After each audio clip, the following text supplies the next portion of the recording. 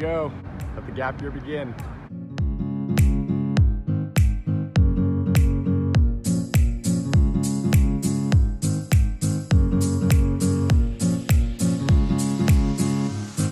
Well, I made it to Hawaii.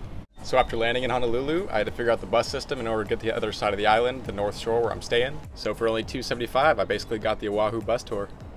Having never been to Hawaii before, this place is incredible. Day one in Hawaii literally feels like a dream. You got the tropical environment, beautiful wildlife, and insanely gorgeous beaches. Might as well be swimming in a bathtub. For those of you who don't know, I'm staying here through WWOOF, which is Worldwide Opportunities on Organic Farms. Basically, I work a certain amount of hours per week for accommodation. When I got to the property, my room was still being cleaned, but I put my stuff down and I got the bike path beach tour by my guy Ocean. And then later I hauled my stuff up to my new place, which is at the very top of the property. It's 148 steps from the bottom, and yes, I've counted. Oh, I'm out of breath. I was granted this here treehouse. It's pretty sick. It's simple living, all right, but it's got everything I need. Bunk bed and small kitchen setup, what more could you ask for? View isn't too shabby from the room. For a bathroom, I started with a pee bucket, but I've since upgraded to a lidded jar so mosquitoes would stop laying eggs in my urine. For number two, I go down the ladder and walk 20 seconds to the compost wood chip toilet.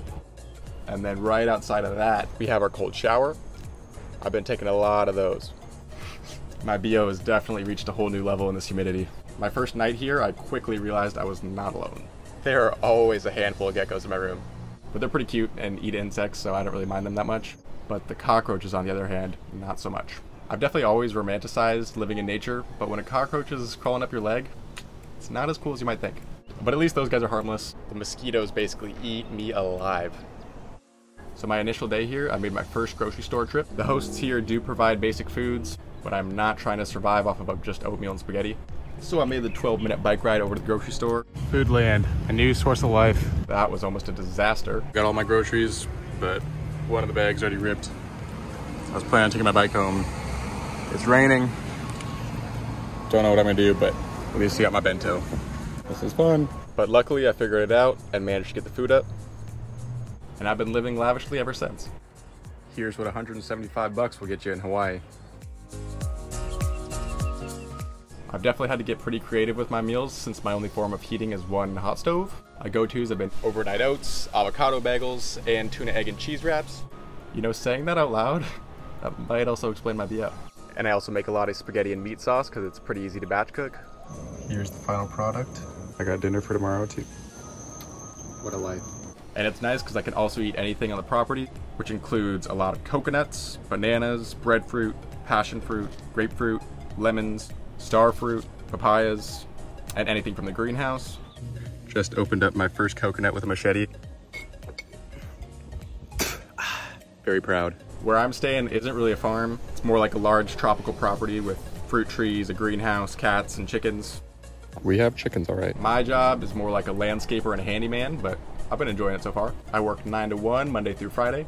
My first day working also happened to be the first death of any of their chickens, so that sure made me feel good. But work has been smooth since, and I do a lot of jobs like weed whacking, cutting overgrown grass, maintaining the greenhouse, chopping a fence down with wire cutters. I had to carry some bamboo up to the top of the property so we could make a barrier for the wild pigs. I took flooring out of one of the rental houses, and then I also scrubbed the yoga deck.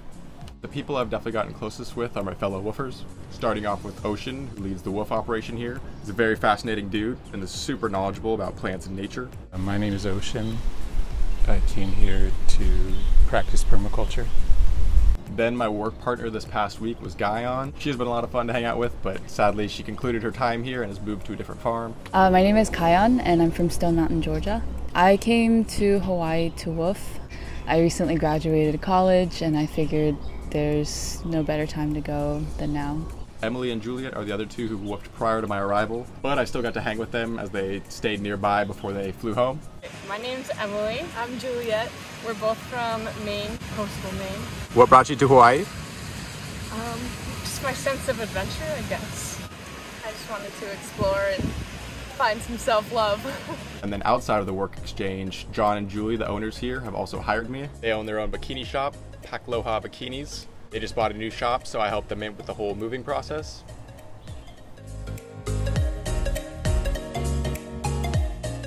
Along with getting paid, they generously bought me Thai food, ice cream, an acai bowl, and Julie made us a delicious pancake and bacon breakfast. They have really been awesome hosts so far. Anyone staying here has access to their cruiser bikes, surfboards, which they have quite a few of. John has actually blessed me twice by taking me out surfing with him. The dude is a complete surf addict. He said he moved here when he was 18, and to this day in his 60s, he still gets out every day to ride his foil. It's extremely impressive to watch. Hello there. We just took Logan surfing on the North Shore.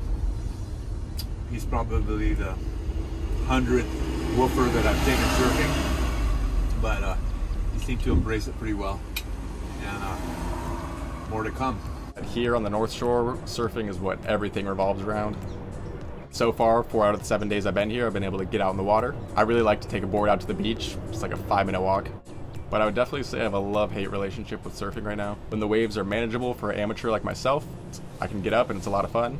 The only problem is the waves are hardly ever manageable, and I spend most of my time getting pummeled by the waves. Overall, I've been keeping myself pretty busy here.